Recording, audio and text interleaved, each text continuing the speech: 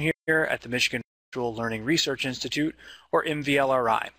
The goal of MVLRI is to expand Michigan's capacity to support new learning models, engage in active research to inform new policies in online and blended learning, and strengthen the state's infrastructures for sharing best practices. MVLRI is a division of MVU, or the Michigan Virtual University, a nonprofit organization whose mission is advancing K-12 education through digital learning, research, innovation, policy, and partnerships. MVU is also the parent company of Michigan Virtual School, a supplemental state-sponsored virtual school, Michigan LearnPort, an online professional development portal for K-12 educators and personnel, and MyBlend, a blended learning initiative providing K-12 schools with resources, products, and services to personalize learning options for their students and improve student achievement. A quick disclaimer for today's webinar. This webinar will be recorded and shared publicly. Consequently, anything shared during this webinar, including chat comments, could be shared publicly. This webinar may represent a presenter's or an attendee's personal views, opinions, conclusions, and other information which do not necessarily reflect those of MVU and or the Michigan Virtual Learning Research Institute and are not given nor endorsed by MVU slash MVLRI unless otherwise specified. We have with us presenting today Dr. Randy LaBonte, who has been a senior level executive for over 30 years in the education sector and works and teaches online in the K-12, post-secondary, and corporate training sectors. His doctoral research led him to take on the role of lead consultant and researcher for seven years at the BC Ministry of Education, and he was a member of a team that researched distance education for the Alberta government. He was central in development of policy, agreements, and e-learning standards, as well as led the design and implementation of the quality review process for BC online K-12 schools. He presently teaches online courses for Vancouver Island University and recently took on the role of Chief Executive Officer for the Canadian e-learning network, uh, which you can find more about at the web address there, canelearn.net, while continuing his other contact, contract work and studies. With that, I'll hand it over to Dr. LaBonte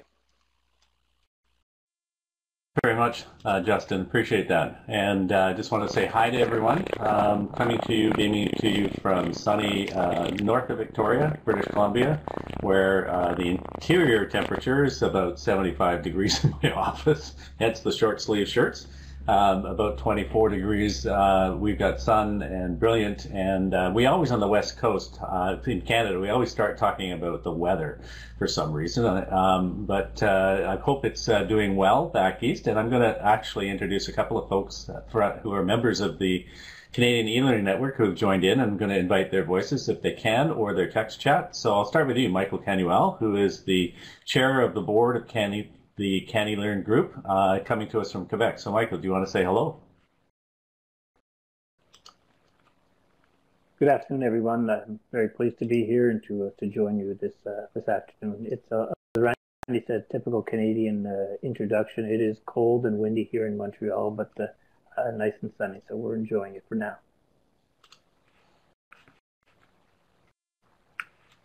And we also have Karen Gledhill from BC, who's in the warmth as well. Anyone else uh, self-declaring from Canada here?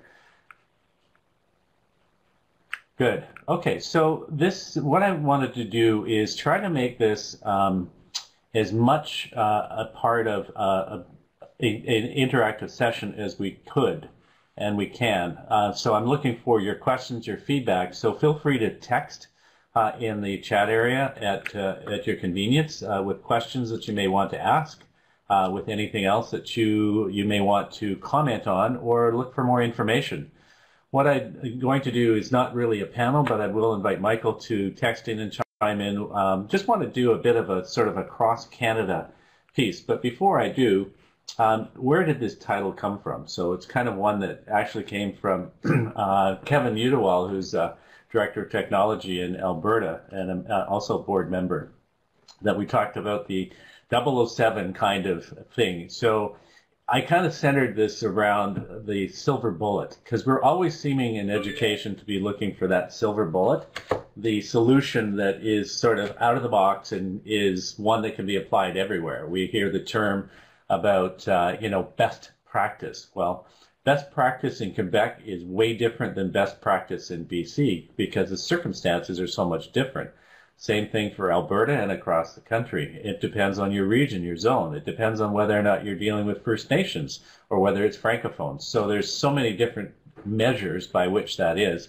So we are going to talk a little bit about what's happening in Canada in the online as well as in the classroom base, but more importantly as well, how the policy, the funding models tend to interfere either by supporting or uh, diminishing uh, innovation practices and emerging trends in both blended and online. So I don't think there is a silver bullet, but um, perhaps I can be dissuaded that there might be a better uh, one. So the intent here uh, for this uh, this afternoon, if you're back east, for us in the morning on the west coast, is to kind of talk a little bit about some successes, challenges that we've come to know. The network, talk, I'll tell you a little bit about the Canadian e-learning network, but really um, focusing a little bit more on some of the challenges that, that leaders are trying to address. And more importantly as well, getting some voices uh, and some feedback from you yourselves and to see how the events and, and things that are transitioning in Canada may actually fit within your own uh, organization or in your own practices.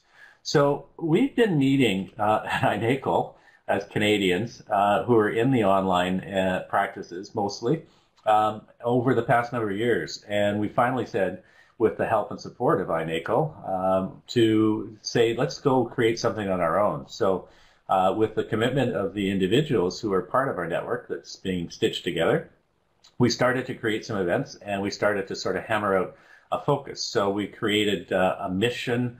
Uh, we're trying to champion student success in online and blended, but we really are about networking, collaboration, and research. And that's why we're also strong members of the Michigan Virtual Learning Research Institute and supportive of the work that's there.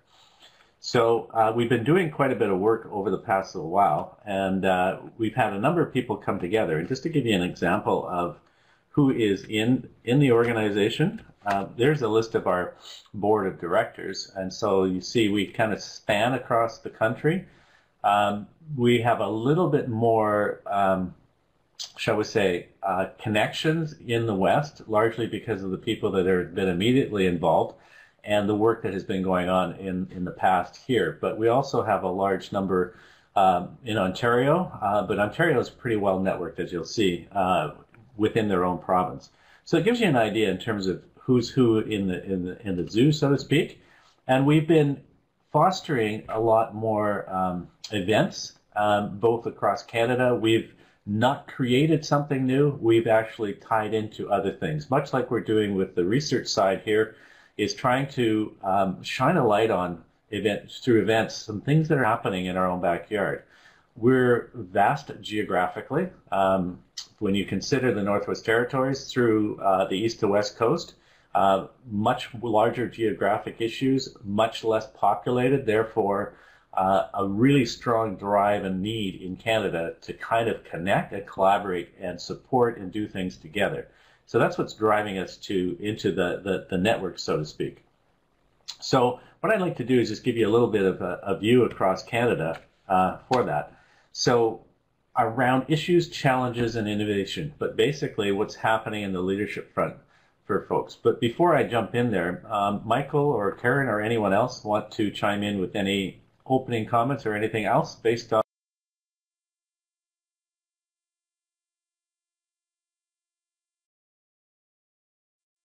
Fair enough. I'll watch the text chat, so feel free to do so. So just for a way background for those of you not familiar, is Canada is like like the U.S. There's provinces instead of states, but education uh, is a provincial mandate. So the federal government doesn't have any say in terms of what's happening in education in each of the provinces. So we operate in silos, really, pretty much. There's cross-provincial agreements that do occur, um, but um, those that are more isolated in smaller groups, uh, notably the Francophone and the First Nations, really do a lot more networking across the country than those of us in public and independent uh, education. We don't have a large degree of charter schools. There are some charter schools that have formed in Alberta, but essentially, uh, other than the Catholics uh, school boards, the public school boards, and then there are the independent schools. Uh, those tend to be sort of the, the, the the main groups within Canada. and most of them are funded um, provincially from governments. So the taxes from the local residents in the province are the ones that are supporting education. Or politically, you know, what happens in terms of downturns of economy, like happening in the oil industry. So Alberta is it's facing a, a real challenge in terms of its budgets, which has a direct impact and effect on education. As I mentioned, the geography is one of the issues. Connectivity has been uh, an issue in, in many places, and some have actually moved forward in terms of connectivity to address. Um, Alberta has got a very strong infrastructure called SuperNet, and all of these factors affect how learning occurs, how it can be organized, and really affects what's happening in terms of practices. uh, for that. And in some cases, some provinces have gotten together and provincially brokered core technology licenses. So there's a province-wide license for Desire2Learn in Ontario, which is free and open to anyone. They had it just for the online uh, schools before. Now they've opened it up to classrooms, and there's a huge uh, increase in terms of classroom teachers that are working with technology. So I'll talk a little bit about that as, as sort of we move along. But those are factors when we kind of think about uh, what's practiced in Canada and happening. So most of this, and I'm going to give credit. Sorry, go ahead. Just because uh, uh, Justin was asking for an explanation uh, uh, about when we refer to First Nations groups in Canada, maybe you could just go over that. Uh, well, it's our Aboriginal residents, so to speak, who were here. First Nations education uh, band schools, many band schools have uh, the ability to provide the education that their their band members do not have to register in a public school if they're registered in a band school. Now there's a lot of First Nations folks that do end up in public systems or in private independent systems, but as well, uh, many of the bands run their own educational programs. They are funded federally. Uh, they're not funded through the province. Uh, although when they do address, and Michael, you can probably speak to this a little bit better, maybe add in a little bit more around First Nations as well. Exactly as Randy was saying, we add to all of this the First Nations really are all the Aboriginal groups across Canada. Um, uh, we have the Mohawk, the Cree, uh, all across Canada they do come under federal uh, funding. They work actually in many ways more as a network, and we also have the Inuit communities in the far north, in the uh, northern Quebec, in the uh, um, uh, what's the name of our new territory, Randy? I'm drawing a blank. First Nations as well, and we we refer to them as a separate group very often, simply because of the funding model which supports them. Yeah, there and and again, so again, policy and funding are huge drivers in terms of what happens in practice or sharing or networking. So those are some of the challenges that we're looking at as well. But we do have Howard Burston, who is from um, Manitoba First Nations, uh, as a member of the board as well, and will continue to look for that representation. So again, I'm going to give credit to a lot of this research because it was spearheaded and led by Michael Barbour uh, who's been uh, trying to model the Keeping Pace report that comes out through INACOL and created one specifically for Canada called State of the Nation. Uh, once we formed the network, it became more prudent for us to uh, manage this sort of research that's been done uh, through the Canadian e-learning network, uh, as opposed to a in, principal investigator through an institution uh, because the institutions have all their sort of hoops and, and, and jumps, as, as Catherine probably quite well knows. Um, but we're trying to tie this and relate it to the work that's uh, going on at INACOL, Michigan Virtual here, as well as other research clearinghouses. But we also want to start consolidating this on our own. So um, we're taking the work that Michael started going further and building it into and as part of our own website. Now we're still in very early startup stages as a network. We're not polished. I may be called the CEO, but this is just a very, very small part of what I do. Um, and it's it's we've all been operating sort of on the sides of our desks uh, to a certain extent, which brings a lot of passion and leadership and dedication through the volunteerism. And it's been a great experience and a great group to be involved with. So, but we watch for us to uh, to to evolve a little bit more. So the State of the Nation report has sort of mapped some of the areas. So briefly, in, in the in the Atlantic provinces in the Maritimes, uh, Newfoundland and Labrador has its own individual program run by the province. Same with Nova Scotia. Uh, Prince Edward Island uses, because it's small, it uses sort of D programs from other places. Uh, and New Brunswick has, again, a provincial uh, program. Uh, whereas that's different when you come across the rest of Canada. Uh, what's interesting is Nova Scotia Virtual School, uh, where we have Sue Taylor Foley, who's a member of our board, and in here as well. So maybe Sue, if you could maybe text chat or use the mic just to give us a little bit of background about what's happening in terms of innovation and leadership uh, for you there in Nova Scotia.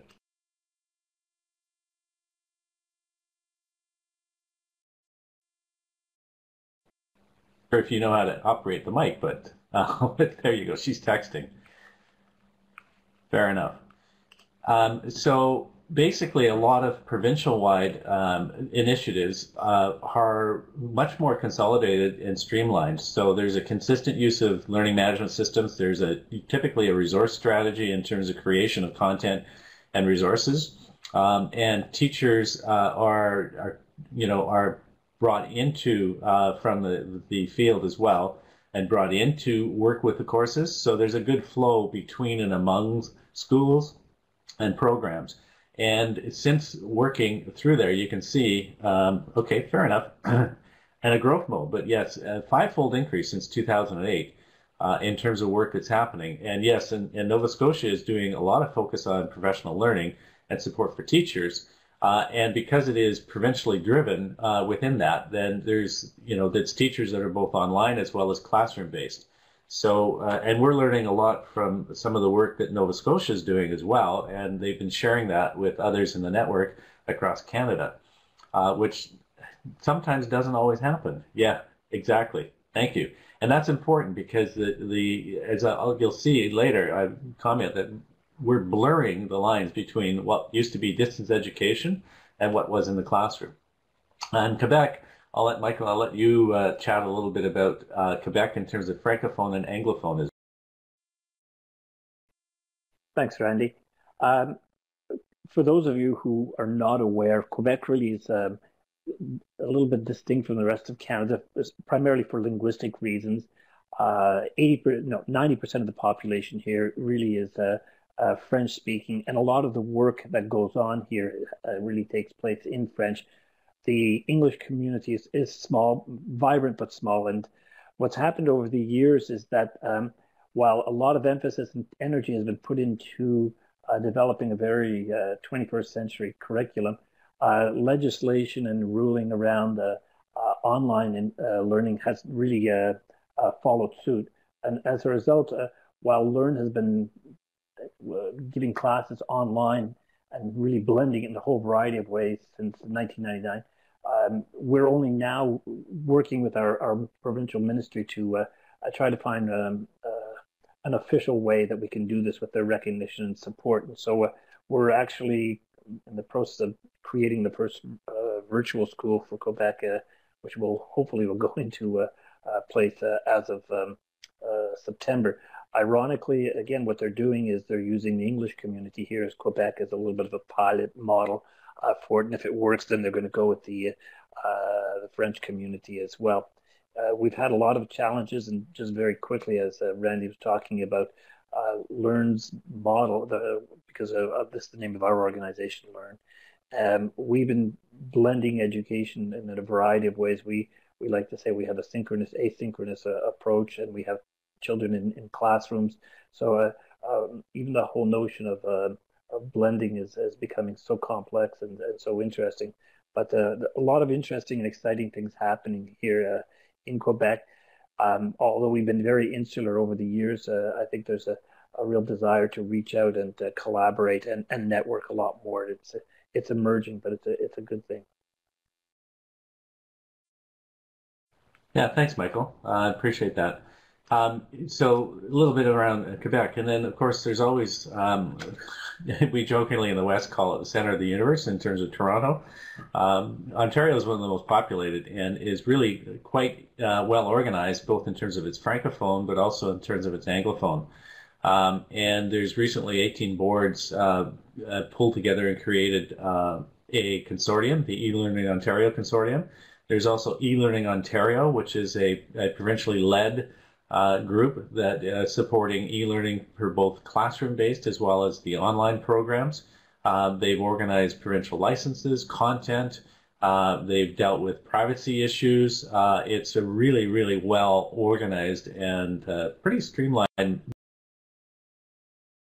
and they're making a pretty good penetration and effect in terms of classrooms and as well as penetration in terms of students. So a few facts here. Sorry about the question marks. That was a little bit just in the translation from PowerPoint into PDF. But in terms of those involved in e-learning, you can see the numbers that are close to 30,000 students. Uh, when you then factor in those that are classroom-based, uh, specifically in terms of funding, you get you know a significant number of students that are directly involved in the uh, online learning um, and blended learning in the province. So there's a lot. Those are, um, I believe, those are those are students in terms of headcount. I'd have to go back and check my source because I got this from Urs Bill, who from eLearning Ontario, uh, and did that presentation. I'm not sure whether if that uh, mobile is Michael Barbour, he might have a comment as well. So uh, suffice to say that it is a, a pretty a pretty um, pretty well um, penetrated group in Ontario as well. The other thing that they're doing that's kind of interesting and different from other provinces, I know Alberta is trying to move in this direction as well, uh, has been, uh, but they have a group of e-learning contacts. So they've got sort of the professional learning experiences by zone, and they, these contacts are in the school districts to support classroom teachers uh, in terms of working online and online teachers. So they really have uh, moved forward in terms of the actual professional learning aspect.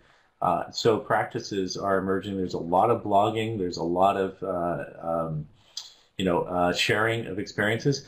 But what's interesting, again, I go back to the provincial silos. It's really not penetrating as much across other areas in the country. Um, so as a network, we have to go into Ontario, create an event in order to connect with folks there. But again, geography restricts our ability to to move across Canada and, and, and get a sense in terms of what's happening uh, elsewhere. Um, Michael had mentioned about the Yukon, uh, Northwest Territories, Nunavut. Um, their challenges are, are different, and again, they're usually um, driven through a, a, a government-based initiative uh, for their programs. I know that uh, I've been working with folks in the Yukon who have started a virtual school uh, of their own independently uh, as well. Uh, their challenges rest a lot in terms of both geography, um, a number of students on a wide base that can't really physically come together because of the distances involved, uh, as well. There's connectivity issues that they face because many of the communities uh, do not have good bandwidth or access. Uh, a large majority of them are on dial-up modems still. So it's a bit of a hinterland, so to speak, there. So they have been working directly with those south of them uh, for support as well. And I think Sue's going to make a comment here as well in terms of the work that may be happening with Nunavut. Newfoundland Labrador has also been um, working with others. I know the Territories has been working directly with folks in Alberta and the Yukon and BC because their curriculum matches. There you go lots of locally hosted blended learning in Yukon, and one centralized school. So that's what's interesting in terms of what's emerging. But um, again, a lot of the practices in these remote areas are really drifting uh, into a technology supported uh, approach uh, just simply because it will allow students to get better credits and more more education for them. So out west, uh, we've got a variety of different sort of approaches where we have uh, some that are district based and others that are sort of provincially based or provincial programs. So in Manitoba, we have uh, uh three province wide programs and sort of driven through uh, government. Saskatchewan, it's a little bit more uh, open in terms of districts that are doing that. So there is some collaboration that is beginning to to take a good foothold in Saskatchewan, and we're hoping to support that through the network. In Alberta, they have a province-wide program, but a lot of increase in district-based as well, uh, both online, but more importantly, really shifting into blended. And I know that I'm, we're working with a group in Alberta that is uh, fostering a symposium on Blend Ed is the name of it, uh, the symposium on blended and online learning uh, that will be happening in the fall. So a lots that are happening out of Alberta. They've done some curriculum revisions and revamping that are happening, and I certainly can tell you a little bit about what's going on in British Columbia because of my past experiences. But in Alberta, um, there's been a real focus on on some creativity and innovation. Inspiring Education was a policy document that was um, instituted through a series of conversations and dialogues with uh, constituent stakeholders in education. And it's really driven a lot of technology led pieces. I mentioned in Alberta before that they had laid down their infrastructure called SuperNet. So they've got the bandwidth, uh, both in terms of uh, the the actual uh, technology side of things, but in terms of the policy and the funding side, that is up until the uh, oil drop uh, in the economy, which is affecting Alberta now directly. So Alberta tends to be a boomer bust kind of uh, place, and so they're spinning a little bit off. But lots of initiatives around OER and MOOCs, open badges. They've done a lot of sharing in Alberta um, and very locally, and it's now starting to drift over the borders into both Saskatchewan as well as British Columbia, which tends to be sort of again a bit of a geographical uh, fix. So the other thing that's interesting about Alberta is that even though uh, the ministry right now is not uh, in a leadership position because of the economic changes and political changes, uh, they're still maintaining a lot of the uh, curriculum redesign, the high school flex program, a lot of things that are really looking and depending on uh, an online presence and technology base uh, that will continue to to to give rise to innovative practices, and there is a real support for innovation in in uh, the area as well. When it comes to British Columbia, and, and, Michael Barbour uh, calls it, and I, I've lived in it, it's the most highly regulated province when it comes to online learning. Um, in terms of uh, what happens. And they've opened up and changed policy to allow anyone to have what they call a distributed learning school, which is where students are can be at any distance and come from any part of the province. So uh, anyone can sign up a student to take an online course from anywhere in the province or through independent or anything. So as a result, there's been a, a, an interesting mix of different uh, approaches in there. The regulation is is something which uh, is is beginning to. At first, it was enabling in terms of the policy, and now it can be uh, seen to be a little bit disabling. So there's been a, a, a, real shift in the province towards an integrated approach, not just having an online school in each school district, but having it integrated with classroom practice. So there's been a real move towards blended because in the online schools, or called distributed learning schools, there's both compliance and quality uh, metrics and expectations that have been laid down in policy and legislation. So at the same time, while they have to prove that they've spent the money correctly and have evidence from students, that's the audit side, there's also uh, a an agreement that they have to be meeting or beating standards, as well as uh, have a, a, quality focus and success uh, within the programs. So it's it's a tough haul for a lot of folks in that area, and they're finding a little bit more ability in innovation uh, back in the um, in the classroom base so that they can dodge a little bit of the policy and the agreement structure uh, for that. And that's where we're seeing a lot more, again, blending coming in. So making sense of what's happening across Canada, and then I want to open it up for some comments and questions about how this might be related to what you're seeing in terms of practices in your own areas. So in online, many of the programs, that, like elsewhere, evolve from distance ed initiatives. Um, at the same time, classroom-based practices have started to integrate and use technology, which now moves them into the online environment. But what's interesting in, in uh, and this is not research that has been hard-coded, so it's not quantitative. It's more qualitative and anecdotal. But the shift from classroom to online appears to be easier than moving from what was traditionally a distance education approach or online exclusively to a blended. Yet um, both are happening across the country, and both are, are seen as a desirable space to be in uh, for teachers, um, driven by metrics of success, of, of graduation, of course completion, uh, people are finding that, uh, particularly in K to 12, it doesn't work the same quite in the post-secondary, but in K to 12, you kind of need to see the whites of their eyes, and you know, every once in a while, put a hand on the shoulder, uh, and and really the engagement of learning is happening in those areas. How it's happening, there's a whole variety of different things. Um, I'll talk a little bit about one of the schools, Navigate NIDES, uh, which received a NACOL Innovation Award um, is really focused on on part time in the building and part time independently working on flexible projects for students. So they've really kind of just given up on the concept of what's classroom and what's online in terms of the differentiation and just really said it's about learning and sometimes we'll learn as a group and sometimes you'll learn independently and when you learn independently you can do that online if you want to be home you want to be out in the community so they've really kind of suspended that in loco in loco parentis uh, and that custodial function and pushed a lot more responsibility back to parents as well. And that kind of practice is happening elsewhere, where the Carnegie unit is no longer seen as being a critical piece. And that's also what's happening in the flex high school flex programs in Alberta. So a lot of shifting uh, into that sort of uh, blurred area. But again, because of the structure practices, policy, funding, those that were strictly distance education programs are finding it more difficult to move into that blended area than those that are classroom teachers. Um, so as well, um, some of the traditional distance ed, like Alberta's Argyll uh, Center, is one of the. I was happy to see uh, live online.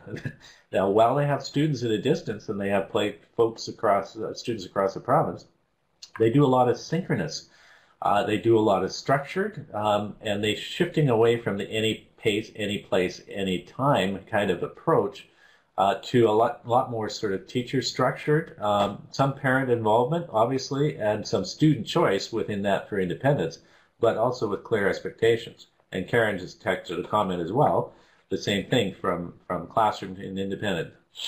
Um, ADLC is a provincial uh, distance education program and provider, um, but it's also looking to build partnerships with schools and teachers so that while the content teacher may be at a distance, uh, the, the school-based or community-based uh, individual is not. So they offer in partnership that kind of a combined approach and have really pursued that uh, and will continue to pers- pursue that. So in the same sense, there's partnerships that are starting to emerge between some of the public and, and the uh, the Catholics as well as the more rural areas. So you get uh, school districts divisions coming together to share resources through uh, learning object repositories, through a Moodle hub, uh, where they're sharing content courses, uh, and a lot more of really sort of facilitated dialogue. And that's coming through sort of a, a federated approach in Alberta. It's been it's sort of embedded in BC for a while. Uh, and what we're finding then is that seems to be supporting some of the work that those folks are doing. Ontario has it as well, and that's why we're looking to kind of help uh, across Canada to to cross pollinate, so to speak, between these jurisdictions. But everything's sort of centering into the middle in terms of what we're finding of practice as it's evolving. The other interesting thing, and this comes out of BC, and sorry, I have a BC footprint, and uh, but this is interesting data about uh, the importance of this around completion because BC really tracks a lot of data. Students in 2009 that were taking one or more online courses um, did poorer. They did not have a high graduation rate um, in completion for their public school program as those students that were not taking an online course. But by 2012, it flipped. So in essence, for whatever reason, and this hasn't been determined, but for whatever reason, whether it be that they're getting the course that they couldn't at their school, or that they're learning to be better independent learners because they're working online, or whatever the reasons are, those students that are taking one or more courses online now have a better completion rate of high school than those that are just in a classroom. Thought that was an interesting. And it could be that all the top of the bell curve is migrating into online, and maybe that's why that number is skewed. So it's just a number of different factors. But what it does say to us is that online is definitely here to stay, and it's very, very important. So what have we learned in terms of things across Canada? Well, you can see it there. It's blurred. It's not perfect. It happens in different ways depending on such factors as geography, policy, funding, um, jurisdiction, whether it's uh, federally funded First Nations, uh, whether it is francophone or whether it is anglophone in Ontario or in Alberta or in Nova Scotia.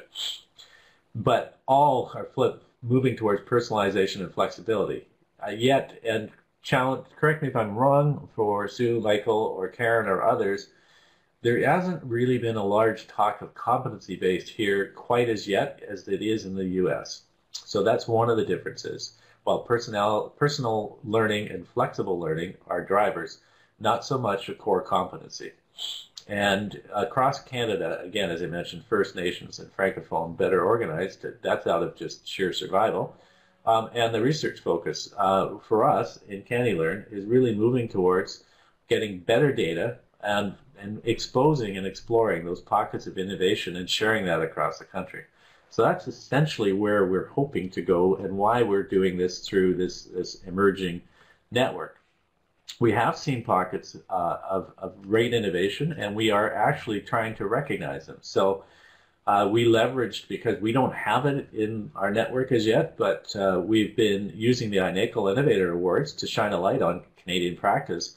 And over the past three years, um, sorry, this slide I forgot to update. Over the past three years now, uh, Canadians been recognized for an innovation award. First, it was Audrey McLaren and Peggy Drolet at Learn, um, and Michael's uh, initiative. Uh, Verena Roberts, when she was, uh, who's now with CANeLearn, obviously, as well, part time. Um, through work that she was doing with the Alberta Distance Learning Center uh, in terms of uh, the first K 12 Open MOOC, as well as the Open Classroom and other open initiatives that she spearheaded for that year, uh, was recognized. And then this past year as well, uh, the Navigate program for Navigate uh, Noat Nights in Courtenay, British Columbia, was recognized for their creation. We also found that Josh Gray, in terms of the work he was doing in London, Ontario, we nominated him and the light back across Canada. Um, and Maurice Barry, who was instrumental over the past number of years for the Distance Learning uh, Innovation Center for St. John's in Newfoundland, Labrador, as well. Not to mention, as well, our good colleague and avid uh, advocate for supporting and building the Canadian e-learning network, uh, Michael Barbour, in terms of his research as well. Michael's now at, uh, at Sacred Heart University in Connecticut, but continues to have a passion and uh, support uh, initiatives that are happening in Canada. So that's what we're hoping to continue to do to create some some recognition, but attention within our own country, um, so that there's a lot of things that are going on. Um, was was very much so. So that's pretty much what I wanted to talk. I want to talk a little bit about next steps, but I want to open it up for some discussion and commentary uh, from the, those of you here about how does this resonate with what uh, you're seeing in your own practices? How does this compare to other countries or other areas? Uh, and then I want to bring it back to the question of, of where should we be focusing our research that can help contribute to others, but what you may think will help support us. So open dialogue discussion.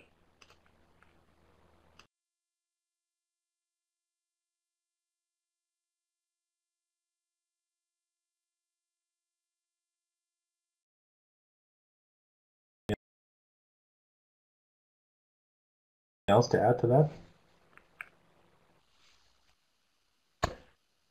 Hi, Randy. It's Justin. So um, I have a question, uh, and this obviously I don't want to paint the entire country of Canada very broadly, but uh, maybe you can point me to some kind of direct instances. Are there are there any kind of specific legal requirements for mentoring of uh, distance learners or online learners, like on-site mentors for kids in public schools? Maybe differences across provinces, and and have you seen anything? Uh, maybe some that you can point to effects of whether or not uh, a student might have a mentor in, in a classroom for an online class? We do pretty much the same thing here in Quebec. We have a an online and it's a mentoring tutorial system that it works uh, for all all uh, children, all students at the elementary and high school level. In the French side of Quebec, uh, uh they do the same thing through a program called Alloprof. These are, um, uh, but they're not necessarily assigned uh, to a particular student. They're just uh, resources that are online uh, that can be um, reached through synchronous programs. Uh, they can be there to help us more along the lines of homework assistance than I would call it truly uh, mentoring.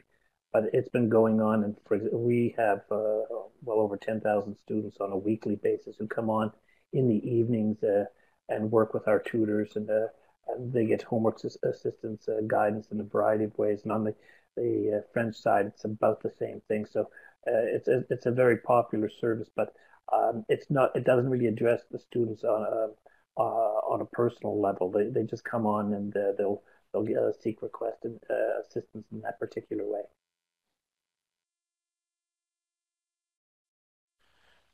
Michael, thank you, yeah, Randy. Sue oh. has indicated. Go ahead, Justin. Sorry, I was actually just going to uh, highlight what Sue had written in the chat chat window there for the purposes of our recording. She says they have contact teachers who supervise and support students at every school site who are chosen by the school and part of the agreement with the teachers union and that they're going to have an online short course for all middle level learners to introduce them to online learning so it'll be something more familiar when they reach high school. Yeah, thanks. Yes, I was just going to highlight the same thing. Um, so while there, there's also there's mentorship for teachers, there's also programs and support that's mentoring for students. Uh, definitely both are key aspects to that because again like we said at the beginning of this session let's keep technology transparent and out of the way and not make it about tech. But uh, in order to get uh, engaged uh, we have to help people get past some of those roadblocks. In the same way as teaching online is has its its own challenges um, even webinars online sometimes can have challenges as well um, so you know, some of the thoughts about where where do we go from here is sort of like what, and I want to come back to sort of the, the network, the e-learning network that's we're evolving across Canada, and we've called we've given it a construct called the Center for Innovation. Uh, it's more of a, a, a construct, uh, artificial. It's not a physical place, and it's not a, a, a digital place as it exists as yet. But some of the things that we we are trying to do to bridge across Canada and support some of the things that are happening uh, is a project that's just launching, a Pan Canadian English Resource Project, uh, to try to pool together resources and uh, share uh, in English uh, across Canada. Because again, remember everything's provincially funded and provincially driven. So are there resources in Ontario that might be shareable in, uh, in BC, in Newfoundland, in uh, the territories, in Nova Scotia? Absolutely, and the same in the reverse. So that's some of the things that we're starting to do. The easiest space and the more important space to be in as well is is focused learning, both for teachers. Um, again, the support for students is not something that we as a network are looking to do. That's a provincial mandate and is occurring. But we can do things such as webinars as these. We can share research. Uh, we've created an open course on teaching and learning online for specifically for teachers. Um, and then we can we've also are going to offer that up as a facilitated um, event uh, for for folks that join in the network so that we can actually give them some degree of badge or credential or certificate we're also working with our post-secondary institutions to uh, jump in and create a pre-service teacher certificate course about teaching online. There's interest out of the University of Lethbridge for doing that at a master's level as well. And then we foster and support local, regional, national events, and we bring a provincial limelight to it. We have a lot more folks that are interested in attending an event, uh, maybe in another part of the country, and building a network. And so we've done things such as going to the Bring IT Together conference in Ontario uh, and had a number of folks come. There's been provincial events in BC that people have come to. Created and fostered an event in Ontario. Uh, as well as uh, meetings and other things in Quebec. And we're looking very forward to coming out to our beautiful East Coast uh, for an event in Nova Scotia soon, right, Sue? um, and we're also building a site and a place for people to share. So we're, again, leveraging off tools and technologies and spaces that people already have or are using. So we're not building anything new. We're just simply uh, trying to foster and, and, develop some sharing and, and across. And of course, because of the nature of what we're doing here, research, research, research is um, really a core driver to us uh, both in terms of research that we can do to bring a light to what's happening in practice in Canada. And we were we are taking the State of the Nation report and putting it into an online repository, and then we'll re- be publishing a more comprehensive uh, report as well as part of that. Uh, so those are some of the things that we're kind of focused on and moving towards. And I'll leave last comments uh, from others about where we're going as a network to uh, Michael or to Sue or to uh, Karen, who has some activity as well. I think you've done a great job covering a lot of these points. I would maybe just wanted to add one thing is that very often uh, just being being aware that others are working in the same field as you and um, finding out what challenges that they have and sharing a little bit, um, you get that support that it, it's always appreciated. And, this, and especially because uh, we it's such a large geographical expanse, uh, Canada, and uh, we don't have the opportunity very often to to get together. So uh, the Canadian e-learning network is providing us with this opportunity to get together and not just at the, and although we always appreciate it, uh, not just at the NACOL events once a year. So we now have a chance to get together to share, um, and as I said, to talk about our challenges, about the opportunities, um, and share our successes. So it, it, while we're looking at the, a very practical side of things, it's just good to know that there are others out there um, uh, working uh, uh, uh on the same the same field, and that we have an opportunity to uh, to collaborate, to to get to know one another, and at the same time. So um, that, I just wanted to add that, Randy. Thank you. Thanks. Yeah, it has been good. And as Sue's texted, it's been a benefit to connect with others and and uh, just to stitch that together. I, I think of it as the Canadian quilt. Essentially, what we're trying to do is is stitch those parts of the quilt together just to help build uh, and support uh, 2030 um, okay, excellent. So thanks for for sharing that. There have been some excellent things that are happening here in Canada, but often because of the for a variety of reasons, we do we we we are in isolation. So we're hoping to to bring those together as well. Yeah, and and there is has been a lot more as blended. So really, where we see things going is is a tremendous amount of energy and and practice towards uh, coming out of the classroom uh, base and a lot more high school flexibility and elementary schools as well that are starting to build towards.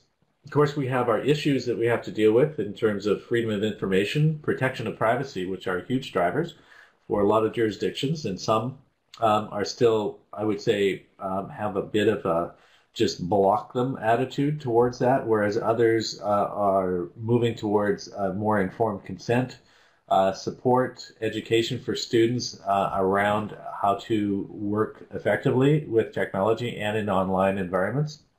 We have a lot of people moving towards uh, Google, uh, you know, uh, sites and approaches uh, integrated across.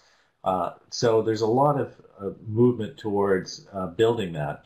Um, but again, we need to share a lot more across our provincial jurisdictions because some are doing things way better than others that others could learn from. We're not at that policy advocacy uh, area it, because of the nature both of the network, but also of the way in which uh, things work. So we're not really INACOL North as an organization in that, that light of it. Uh, we're a much more professional learning organization stitching things together for practitioners. Um, although as we learn and share, um, there may be individuals in the network that work within their own jurisdictions that want to foster some changes in policy legislation or influence how their own provincial jurisdictions uh, are managed around the levels of blended or online. But that's something which is up to those individuals. So I wanted to take the opportunity at this point in time to certainly thank those of you that are here. Thanks for the contributions. Uh, for that. Uh, I do have some contact information, but I would like to stick around if anybody has questions. Uh, about the network, about what's happening in Canada, and just uh, continue with that dialogue. Verena is pretty active, and she does really apologize for not being here. She tried her best, but uh, ended up in in a conflict that she could not um, uh, work out. so, um, so she has um, sent her regards, but there's her contact information. She's pretty active out there. Those of you that tweet or, or blog, etc., you probably know Verena quite well, but do want to say thank you uh, for this and thanks for the contributions of others and uh, turn it back over to you folks for any other comments, or Justin, any other things, or Catherine.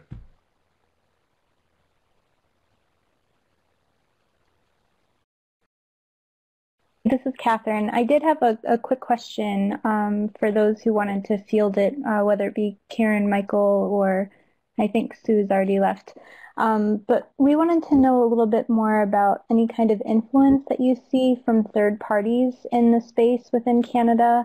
Um, is there anybody um, that's driving the effort in terms of vendors, or have you seen a lot of activity for, from for-profit industries versus the traditional education establishment? That's a that's a very good question. Um, it, it kind of shines a light back in terms of how we manage those connections as a network as well. Uh, there's a lot of corporate partners that are trying to support learning uh, in the same way.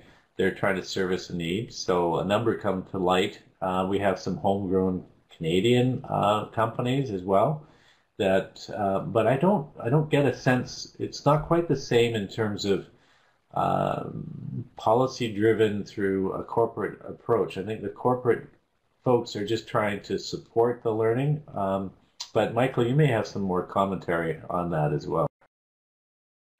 Yeah, I, I think because you have education as a provincial jurisdiction, a lot of the larger um, for-profit uh, uh, organizations such as Blackboard, D2L, and, and others um, have a great deal of difficulty dealing with uh, Canadians generally, simply because uh, every province approaches things differently.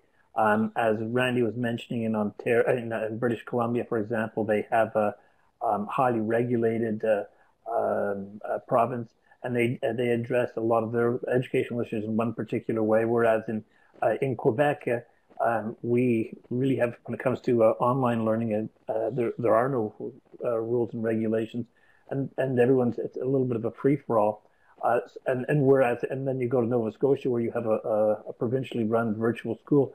Uh, I think this causes a great deal of uh, difficulty for the um, uh, the larger providers simply because they can't they can't find one model that suits everyone.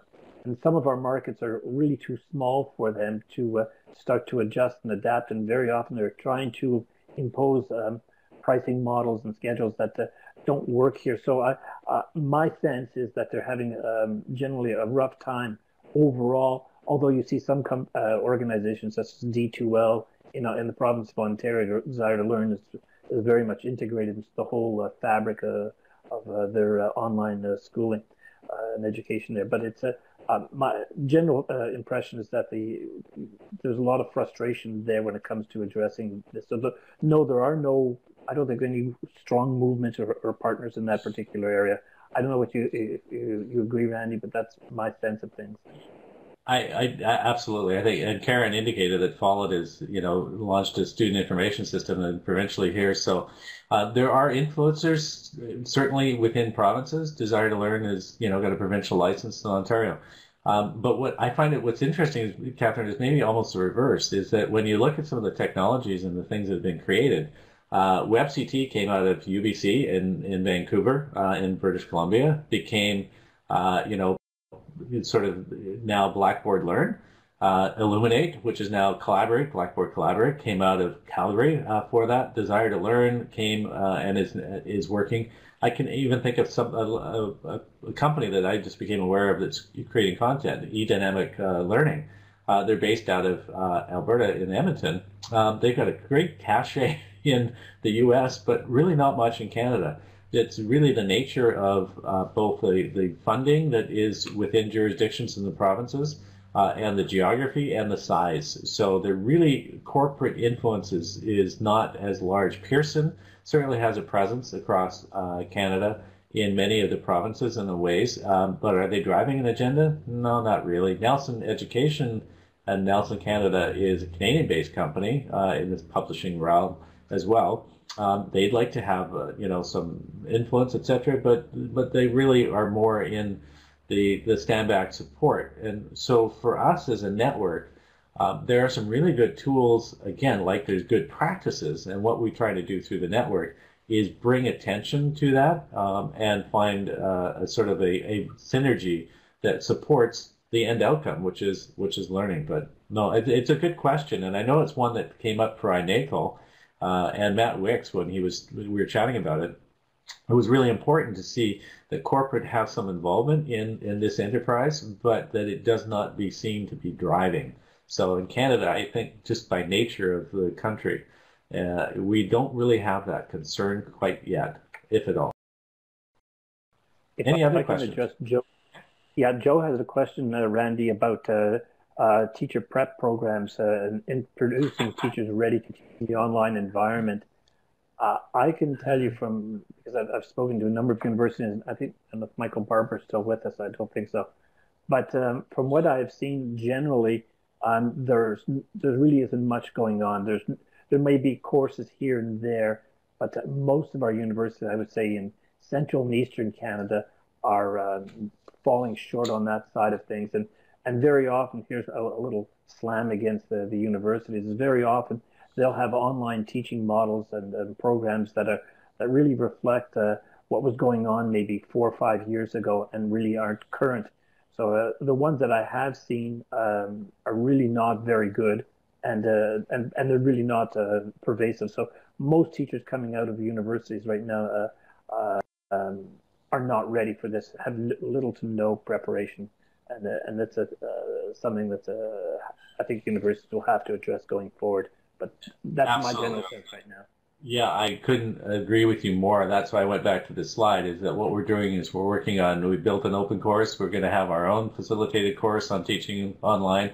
We're working with other institutions on pre-service, master's level uh, as well. So definitely, um, it, it, it UVic, um, okay, in their teacher ed program, it's it's evolving. It's it's occurring. There are pockets again uh, of individuals that are really working towards that. I can say uh, David Porter, who used to be exec director of a BCcampus in post-secondary, is now working on a whole flexible learning initiative out of SFU, which is integrating back into their whole education programs. So it is happening. We want to be in those conversations and we want to help support moving that forward. It's definitely a challenge uh, as well, but so is in-service teachers who want to work with technology. So again, those events uh, we foster a lot that are both skill building but also pedagogically sound in terms of their approach in working with technology.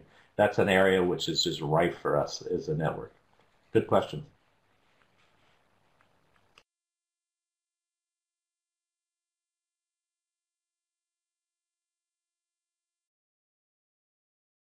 I don't know whether you're going to pick up on that, but I will for the recording as well. So Catherine's comment is that educators are busy on the ground doing the work, that they don't have time to get the research done, that word out or share.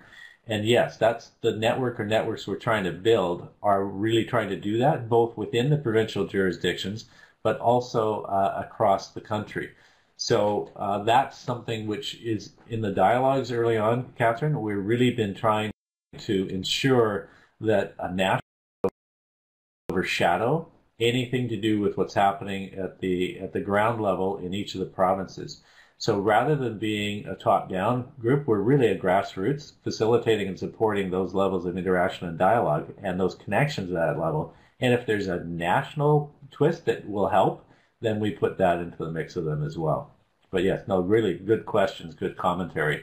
Because yes, teachers are busy. Um, we have the opportunity to leverage what we have nationally to uh, to support them and to uh, get them to uh, better informed, better uh, trained, better able to engage learners using some technologies and blended and online. So, thanks. Over to you, Justin. Thank you, Randy. Uh, thanks everyone else who contributed. Michael, Sue, Karen, thank you all for sharing your perspectives and some insights on uh, what's happening in Canada.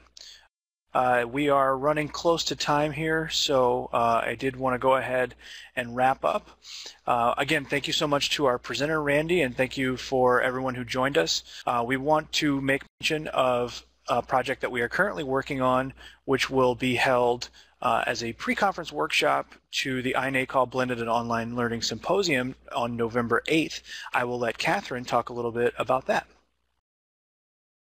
Thanks, Justin. Yeah, we just got word uh, this this week that we have been approved to host the online and blended learning research community meeting It will be all day on the workshop day for INACOL, November 8th. So we wanted to get the work out, our word out, so that people can um, make sure to think about maybe coming the day before, uh, uh, and that would be great. Um, we're also going to probably have some planning meeting um, to kind of get your take on how we should set up that meeting um, so that we can all benefit um, from each other's work. So thanks so much. I'm going to hand it back over to Justin.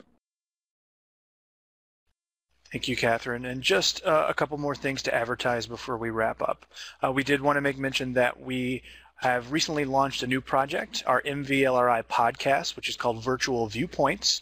Uh, the aim of the podcast is really to amplify the voices of those who are working in K-12 online and blended learning and see how we can use their stories to demonstrate the power of applicable research. So uh, we'll be sitting down with practitioners, policymakers, administrators, and researchers to kind of share their stories. So if you'd like to check out the very first episode uh, with Dr. Tracy Weeks, uh, who works at the North Carolina Department of Public Instruction, and if you're interested in uh, being a guest on the podcast, please feel free to drop me a line, I will leave my email in the chat window. We hope you enjoy that project. And again, our uh, next webinar will be next Wednesday, February 4th at 2 p.m. Eastern. We'll be picking back up with our mentoring series where we'll be examining mentor orientation and training. We'll hear from Jared Borup, who is a fellow of the Michigan Virtual Learning Research Institute, a faculty member at George Mason University our own uh, executive director of MVLRI here, Joe Freidhoff, and Julie Howe from Three Rivers Public Schools, uh, which oversees uh, a great online mentoring program in Three Rivers, Michigan. Becky has also made mention in the chat window there that we're looking for guest bloggers.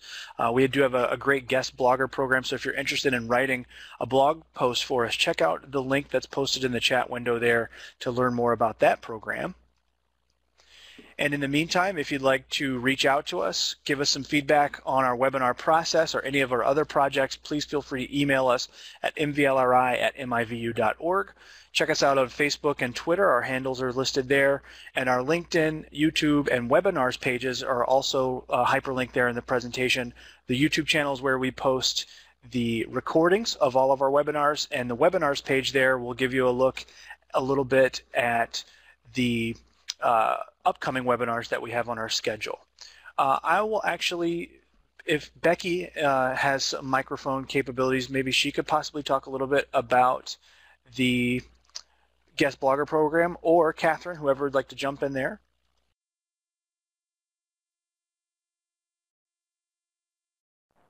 I'm not sure that Becky has microphone privileges yet, um, so I'm going to go ahead and, and approach um, Diane's message. So Diane, um, the guest blogging is uh, usually a one-time thing um, and you apply for it, but we also, um, you can go ahead and, and send in content if you'd like us to post it as well. But the guest blogger is a program. If you go to that link, it will tell you more about it. It's, it's usually just a one-time thing. Thank you, Catherine. And thanks, Randy, for uh, dropping that contact there. We should get those folks connected. Uh, if anyone else has any comments, suggestions, feedback for us, please leave it in the chat window or drop us a line through email.